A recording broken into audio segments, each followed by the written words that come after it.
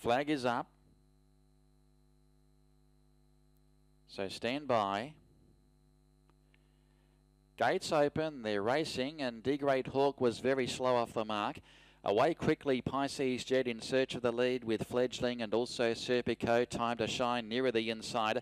And back on the rail is Blood Royal as they greet the judge with a lap to go. And Pisces Jet is rolling across there with Time to Shine back on the inside. Fledgling is placed on the speed third, followed by Serpico outside Blood Royal, and then came D Great Hawk, is now mustering speed and goes to be back midfield there with Leap of Faith, and last is King Falcon. They drop anchor down the back, and on top it's Pisces Jet, leading the way by a length and three quarters to Time to Shine. Fledgling, uh, Fledgling is on the outside and now working up three horses wide is Serpico. So he's covering a bit of, a bit of ground initially there, the race favourite Serpico. D Great Hawk and Leap of Faith also racing deep, and Blood Royal is back on the inside. And the old timer King Falcon drops out of it last of all. So Pisces Jet in the orange jacket leads to the back straight with just over half a mile to go. Now running to second is Serpico, third Fledgling, and now time to shine relegated back to fourth on the inside of D Great Hawk and then Leap of Faith and Blood Royal and the tail ender is King Falcon.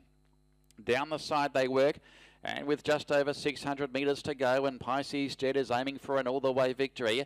Serpico given every possible chance, and the run is now three quarters astern. Then Fledgling, D Great Hawk is trying to wind up, and then time to shine.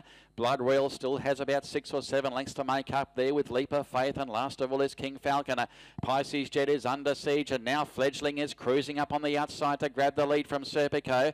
Blood Royal is now running on, but Fledgling steals a break inside the last 150. The stablemate is in pursuit though. Blood Royal, it's Fledgling the leader. Blood Royal is trying to mow it down. Fledgling responding well though over the concluding stages and wins the prize. Fledgling from Blood Royal. It's a Richard Lyons Quinella. Third is Serpico, every chance in the run.